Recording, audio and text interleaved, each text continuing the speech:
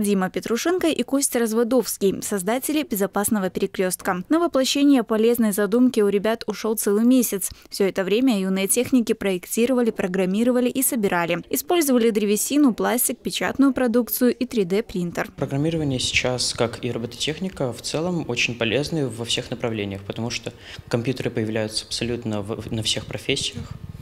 И везде нужно знать хоть что-то о программировании, о том, как работает все механическое. Идея стала победителем областного тура республиканского инновационного проекта. Ее суть проста. На дорогах существуют участки с повышенной опасностью. Один из таких вариантов – закрытый для обзора выезд со двора или перекресток, где может произойти авария. Умная система способна определить местоположение автомобиля или пешехода и дать сигнал «Будь внимателен». Мы, в свою очередь, поддерживаем Центр образования потому что безопасность дорожного движения, профилактика детского дорожно-транспортного травматизма стоит на одной из лидирующих позиций во всем мире, потому что очень часто под колесами э, гибнут э, дети и получают э, различного рода увечья. Робототехнику в Центре доп. образования детей и молодежи изучают около 100 ребят. Написать программу, сконструировать механизм и заставить его двигаться – для них вполне выполнимая задача. Здесь дети учатся логически мыслить и принимать нестандартные решения. В помощь математика и физика.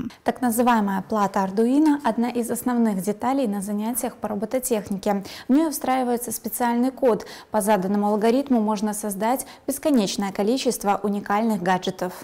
В этот раз участники заявили свои проекты в 10 номинациях республиканского конкурса. Разработки велись в сфере энергетики, промышленных и строительных технологиях, здравоохранения и экологии. Заключительный этап 100 идей для Беларуси, где представить безопасный перекресток, пройдет уже в феврале. Ольга Васенда, Станислав Чечерин, Бобруйск, 360.